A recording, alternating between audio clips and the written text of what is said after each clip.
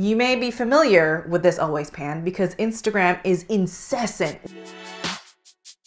Hello everyone, my name is Lisa and I'm the Viet Vegan because I'm Vietnam vegan and today I'm going to do the long awaited always pan review slash is it worth the space video of all of my possessions in the world. At least like 60% of them are kitchen related. Every time I move, people are like, how do you fit so much into your kitchen? The answer is I don't know. Anyway, I have a series called Is It Worth the Space because I have an excessive amount of appliances. So it's an ongoing series that is like kind of a review, but kind of not because I'm not trying to convince you to buy one thing or another. It's just whether or not this particular appliance is worth the space in your life. Recently, I did a bread slicer video, not very popular, but that's fine. I'm very passionate about the bread slicer. I've done an air fryer and I've done a juicer before. So today I'm gonna be talking about the Always Pan. There was like a flood of Instagram promos from other influencers where influencers like me and I did get sent this pan. We're sent this pan to try out with no obligation to post, no obligation to do anything. I think some people were sponsored. I am not sponsored. I appreciate when companies just send you a product and they believe so much in the product that they don't require you to make any sort of review or specific requirement for posting to receive the pan. That just speaks to me that they believe in their product. I am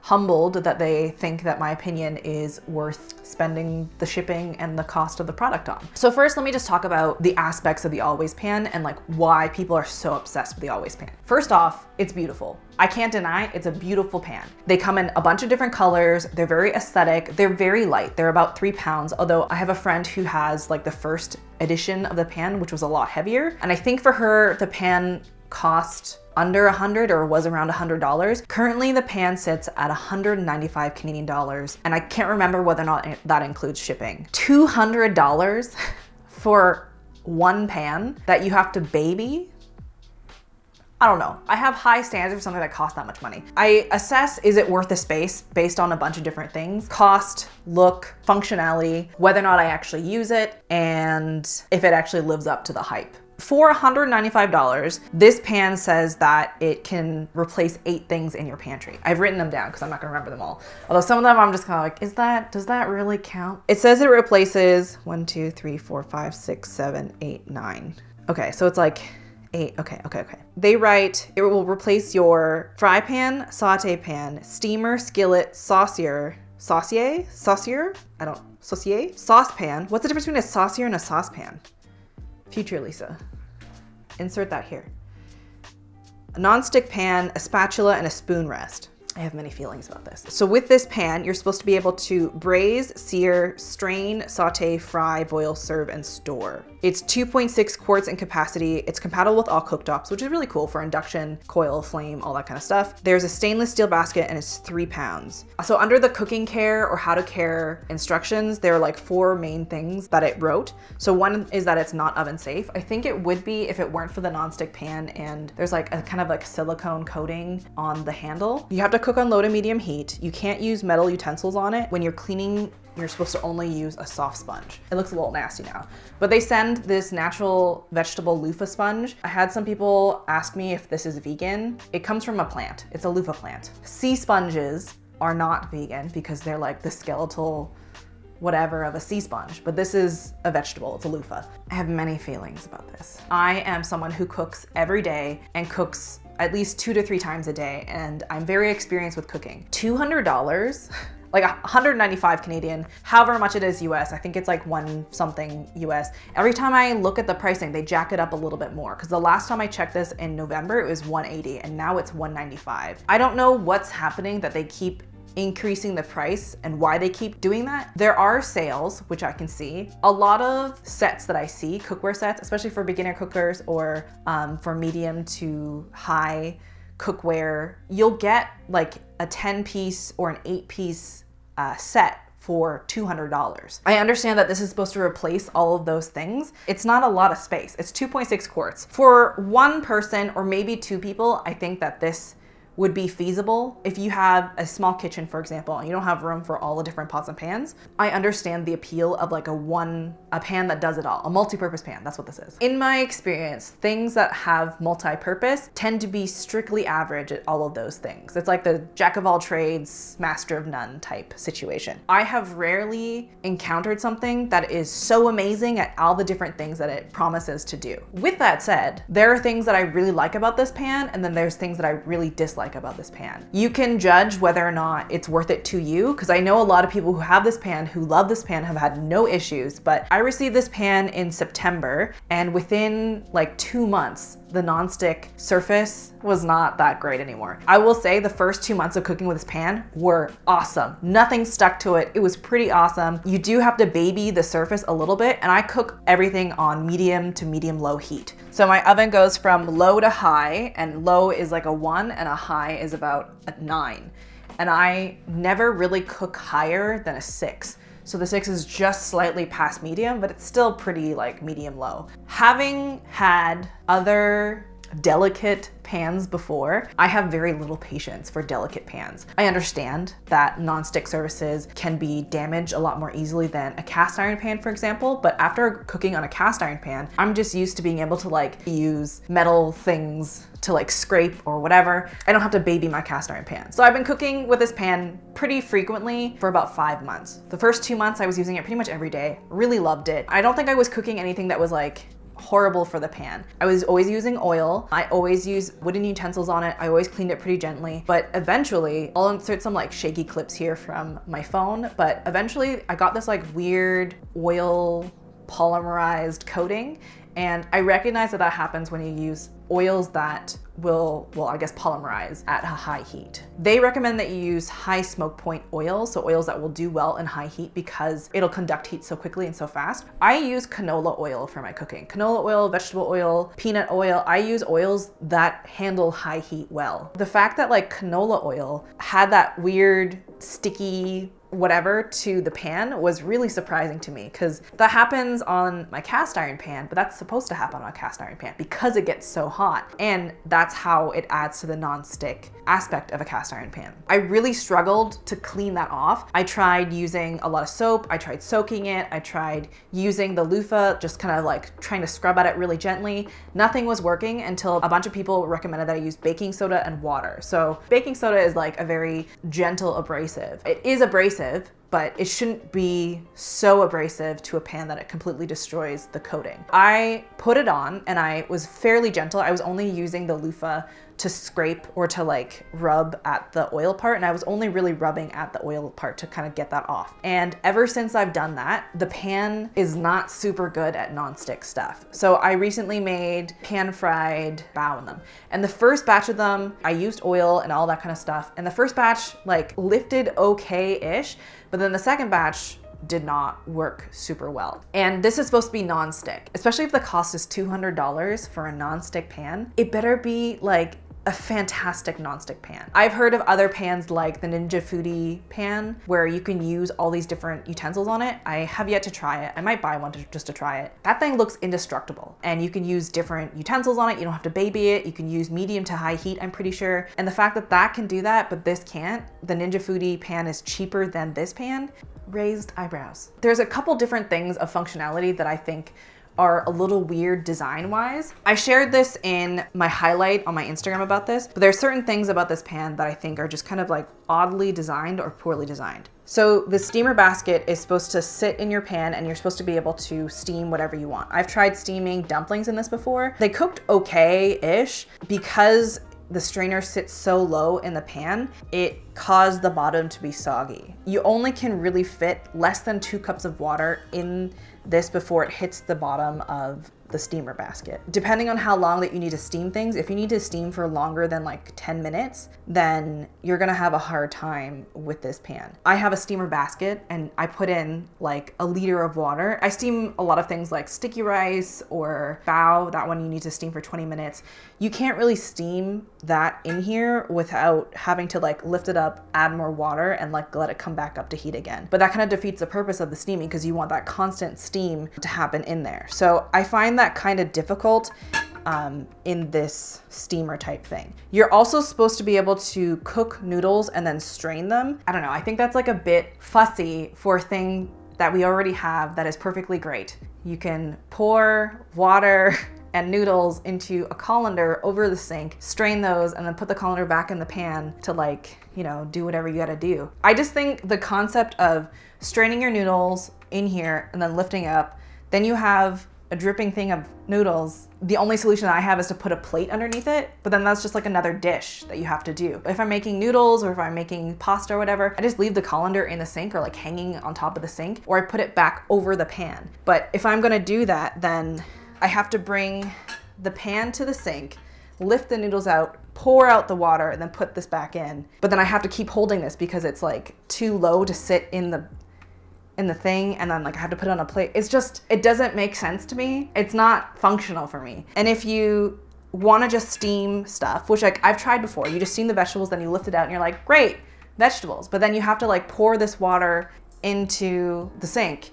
I'm sure there's like a better physics explanation for this, but when there's stuff in the water, I find that the water is less likely to slosh around. But if it's just water in the pan and I'm transporting the pan, the water is a lot more susceptible of splashing out. Maybe that's me being really fussy, but I just don't think that that is very functional. I would just rather use a pot. If you're also heating up sauce, then do you just let the noodles sit out while you heat the sauce or do you use another pan? This is supposed to replace all the pans. They also have an addition of a steamer basket that goes on top and I think that'll replace the issues that you have with steaming this while this touches the bottom. However, I think it's like a $50 cost for a bamboo steamer basket and like Yo, bamboo steamer baskets are hella cheap, man. You can get one up Chinatown for like $10. Like, they're not worth $50. I am both very cheap and also willing to shell out cash for good products. Like I have a Dyson vacuum cleaner. What else did we buy that was like really expensive? I have a $200 toaster, okay? I have a stand mixer. I bought a gooseneck kettle. I don't have a problem spending money on appliances or things in my house that are luxurious if they perform well. Like for example, I have an $80 water bottle. No water bottle should cost $80. However, this is so functionally amazing because the functionality of the insulated water bottle and just like everything about it is just great. The design is awesome. Anyway, this video is not about my water bottle. It's about this always pan. I don't think it's necessary. I don't I don't like it. Having to like pull this out of the water that it's boiling in to like be able to grab it. I usually have to pick up the thing with like gloves or whatever, or like a, an oven mitt for it to not like hurt my hand, especially because it's steaming. It's just, it's not functional for me. the rest of the pan is pretty good. The shape of the pan is really nice. I really like the high sides. I like the coloring. I like that there's like a handle and I like the shape of this and the feel of this. Spatula that comes with is like a Beechwood wooden spatula. It is decent to cook with. However, there's a couple design things that I think are like a little meh. I don't know. Maybe I'm just overly critical because it's a $200 pan, but I think that if something's gonna cost $200, it better be awesome. This handle is heat safe but it stops here. So this is not heat safe. And there's times where I've grabbed the pan and I burnt myself by touching this part just because the leverage of holding something I'm a five foot five Asian woman, okay? I'm strong, but I'm not that strong. So sometimes I have to hold things a little further up the, the handle for me to be able to pick it up in terms of like actual just physics and leverage. But because this part is not heat safe, it freaking hurts. I feel like this is fairly obvious for a lot of people and like this is the same with my cast iron pan. This handle is not heat safe. There's nothing on it to keep you from burning yourself. So if you're touching it after cooking, it's hot. Personally, I don't understand why this is here if you can't touch it when it's hot. On my cast iron pan, it's barely a handle. It's mostly just so you can hang up the pot. But I don't think that th that's what this is for. This is designed specifically so you can hold it. It gets really hot, okay? I really like the spout. Find that it's nice for pouring. It's on both sides for left-handed and right-handed people. I understand the functionality of this little inlet part. As you can see, there's like a little lip here for the spoon to rest on. So the spoon sits inside, this is, why am I filming it like this? The spoon sits inside like this and then the hand, the spoon is supposed to be like a spoon rest that sits in there, right? But there have been times where I'm cooking and I'll stir. I don't think I'm stirring that vigorously, but sometimes if you don't want the sauce to burn, then you kind of have to like, you know, get in there. Things will splash through this lip and burn me. because I'm bad. If you cook and you leave the wooden spoon in there, I think that it's cool that it'll just drip back into the pan.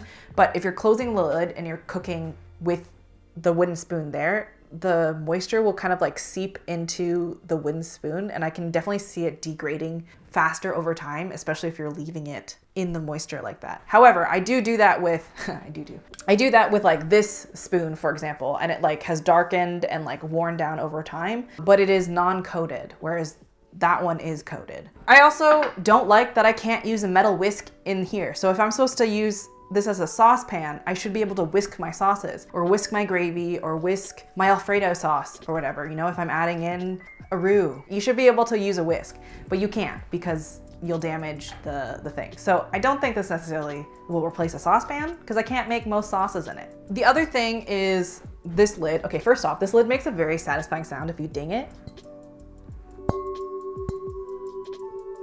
It's very nice. I like that. Um, I like the domedness of it because I find that it captures and holds heat in there pretty nicely. I don't like this lid handle function. Okay, so this lid um, is heat safe just on this upper part, but this here is where it's no longer heat safe. And like, I have pretty small hands, okay? So even, even if I'm grabbing it, but like the tip of my finger is touching this part, is hot.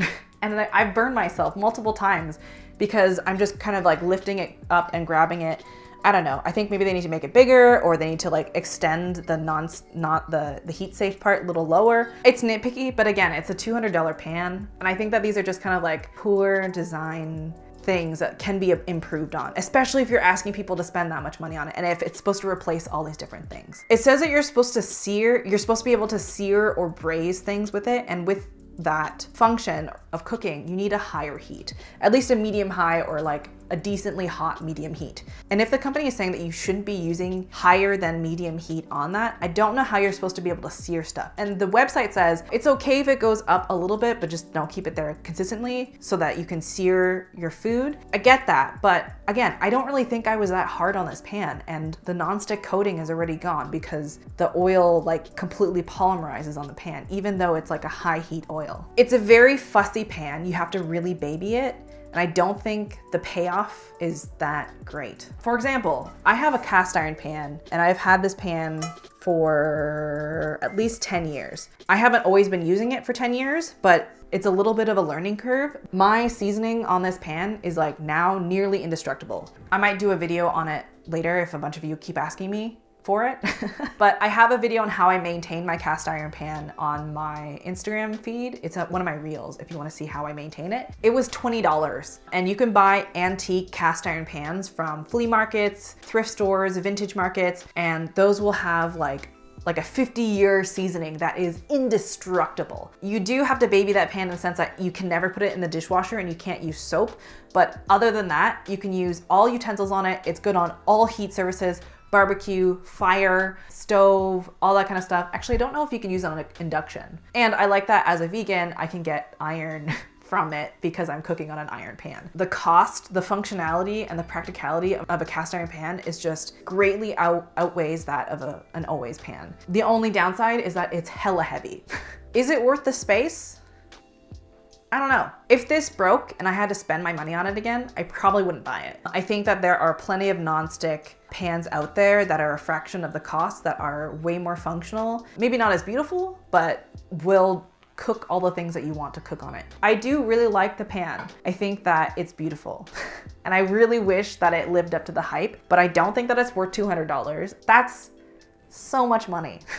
all in all, it's beautiful. It's aesthetically great but it is expensive. It doesn't do all the things that it says that it's supposed to do. At least it doesn't do it well. Let me know what you think down below. Am I being too critical? When I posted this on Instagram, I got so many comments from people. A lot of people were like, oh my God, you saved me $200. And like, I feel bad because like it's a woman BIPOC owned co company and it is beautifully designed. Their dishes and their flatware look very beautiful. I like that they stack, they're very aesthetic. Like this brand knows marketing and this brand knows aesthetic. I think I am too much of a cook to find this functional in my kitchen. Again, you can buy like eight piece, 10 piece sets that are stainless steel, very well made from decent brands for $200. Please don't come for me.